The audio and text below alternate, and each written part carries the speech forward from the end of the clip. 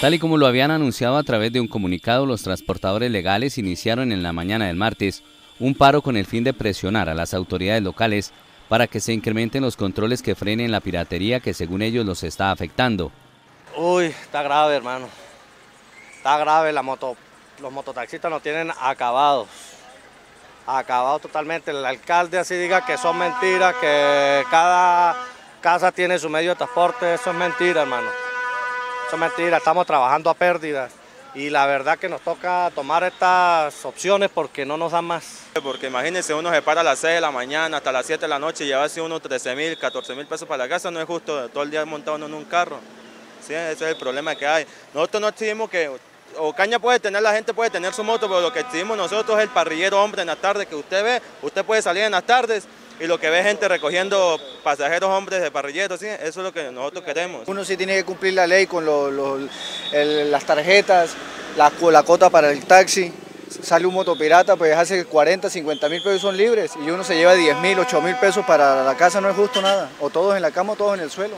El inconformismo presentado por los transportadores salpica a la policía de tránsito, pues consideran que las autoridades no están adelantando los operativos para que haya correctivos ante el tránsito informal. Cada uno puede presentar eh, su inconformismo frente a diferentes situaciones siempre y cuando esté dentro de, la tranquilidad que debe preservarse.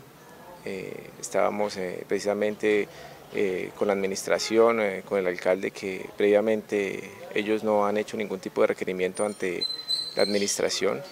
Eh, se hizo un acompañamiento por parte de la policía con algunos eh, gremios transportadores frente a algunas situaciones que se vienen presentando, donde estamos corrigiendo este tipo de transporte, no solamente el eh, del mototrabajador, sino también el de los vehículos que vienen realizando de uno o de otro municipio algún tipo de, de carrera, por decirlo así donde estamos contrarrestando poco a poco este tipo de situaciones y pues invitamos a los transportadores a que pues eh, dentro de las protestas que realicen lo hagan dentro de la mayor tranquilidad posible.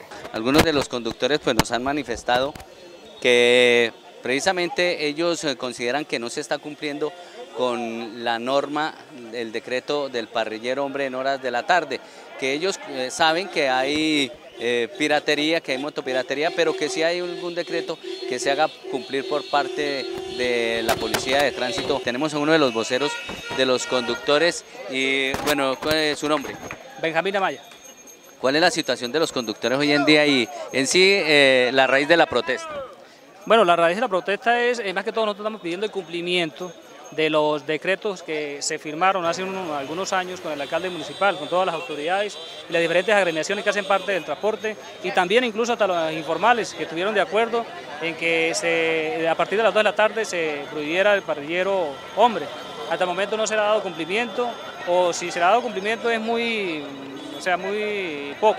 Entonces estamos un poco eh, eh, eh, preocupados por, esta situación y estamos en, un paro indefinido. Sí, de todas maneras queremos manifestarle pues, que no, esto no es organizado por las, por las empresas, y por la, sino únicamente por los conductores, que ya no damos más. Los transportadores están a la espera de que se les asegure que se tomarán medidas por parte de las autoridades para normalizar el servicio de transporte público